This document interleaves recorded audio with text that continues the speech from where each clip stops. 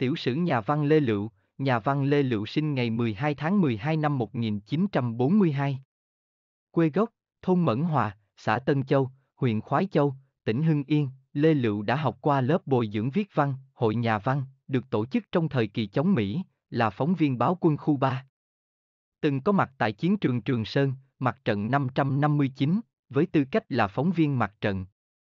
Là thư ký tòa soạn, trưởng ban văn xuôi tạp chí văn nghệ quân đội, tác phẩm của nhà văn Lê Lựu, các tác phẩm chính, Người cầm súng, truyện ngắn 1970, Phía mặt trời, truyện ngắn 1972, Mở rừng, tiểu thuyết 1977.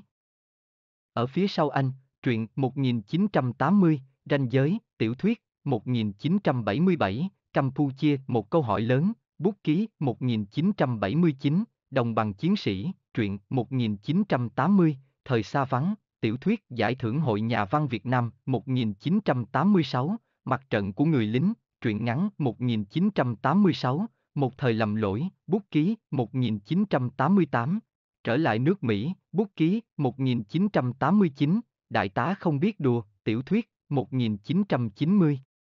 Chuyện làng cuội, tiểu thuyết 1993, Sống ở đáy sông, tiểu thuyết 1994, theo bước chân những đoàn quân, từ một vùng quê nghèo, Lê Lựu có dịp đến với nhiều miền đất khác nhau của Tổ quốc. Giúp ông mở rộng tầm nhìn, vốn sống. Lê Lựu tự bạch, toàn bộ những trang viết của tôi chỉ theo đuổi một nguyên tắc là thật. Tôi không thể viết được nếu không bám vào sự thật. Tôi chỉ là người kể chuyện, có gì viết nấy.